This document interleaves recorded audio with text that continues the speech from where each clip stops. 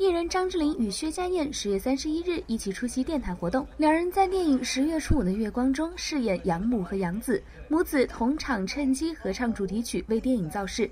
其实以张智霖的号召力，不用卖力宣传，粉丝们也会掏腰包买票支持。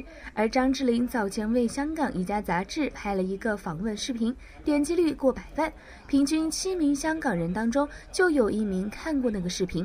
张智霖果然是一名人气王。对啊，哇，好好好，怎么好惊喜哦！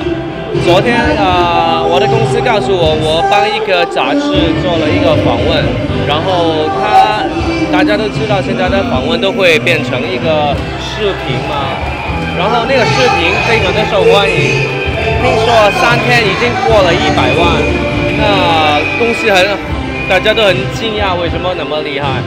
那我想，可能我真的很有潜质做一个 DJ 啊，然后在电台跟大家聊天，可能大家很喜欢听我聊天吧。虽然张智霖的外号是酷魔，但实际上他一点都不酷，而且非常有亲和力，所以才这么受朋友欢迎。他们还会跟张智霖分享秘密呢。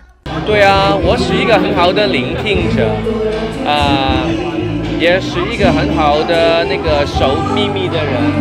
我。应该是一个可以很很值得交的朋友吧。